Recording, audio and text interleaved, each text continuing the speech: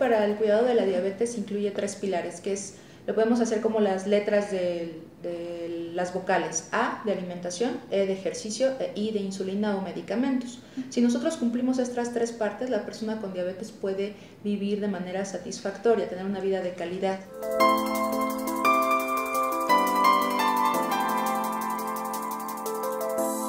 Las personas muchas veces cuando les dan el diagnóstico se ven renuentes porque dicen, bueno, es que cómo es posible que voy a tener que cambiar toda mi dieta, toda mi costumbre que tenía, mi, cultura, y se asustan y entonces prefieren negar la situación. Entonces lo que hacemos nosotros, tanto médicos como en la organización, es demostrar que se puede, y de hecho una persona con diabetes puede tener una alimentación o debe de tener una alimentación excelente como cualquier otra persona.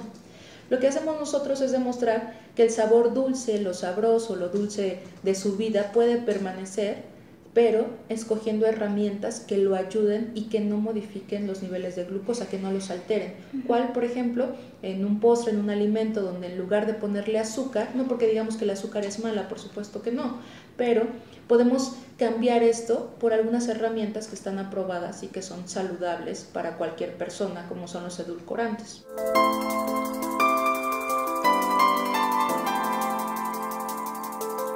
¿Qué hace el ejercicio? Poder lograr que el combustible que nosotros estamos consumiendo se vaya a las células y a las regiones que lo necesita, poder distribuirlo de manera adecuada. Por ejemplo, si nosotros realizamos ejercicio y aumentamos masa muscular, esa masa muscular va a aprovechar mucho mejor la glucosa y va a utilizar también mucho mejor la insulina, que es la hormona que hace que la glucosa pueda entrar a la célula. No hay ningún ejercicio que sea específico para una persona con diabetes Cualquier persona con diabetes puede realizar cualquier tipo de ejercicio. Lo importante aquí es que se cheque, si nosotros eh, vamos a ciegas con diabetes, es decir, me pongo a hacer ejercicio yo que tengo diabetes tipo 1 y digo, bueno, hoy voy a correr 5 kilómetros y nunca me chequé y no comí mis porciones de alimento y no eh, me puse mi medicamento, mi insulina, entonces de nada me va a servir hacer ejercicio. Entonces hay que escoger el ejercicio que le guste a la persona. ¿Cuál? Uno que disfrute, que no lo vea como una obligación, que sea también eh, apto para sus capacidades y sus cualidades. Por ejemplo, si tenemos a una persona que tal vez ya perdió el sentido de la vista, pues no lo vamos a poner a hacer de primera instancia ejercicios que requieran toda esa atención de ese sentido que perdió.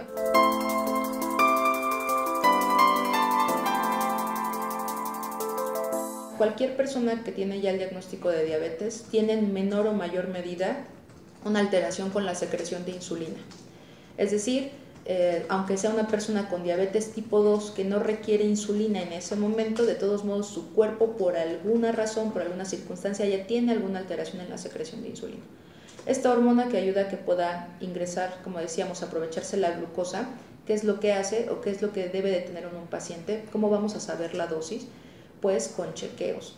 Como la única manera que yo sepa cómo está mi diabetes, checando. Una persona lo puede hacer desde casa con un aparato que se llama glucómetro, es un piquete en uno de los dedos, una gotita, mini gota de sangre al, al aparato y nos va a dar un número.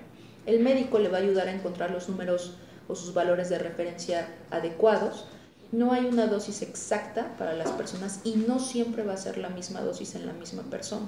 Así como nosotros envejecemos, así también envejece nuestra diabetes y va cambiando sus necesidades.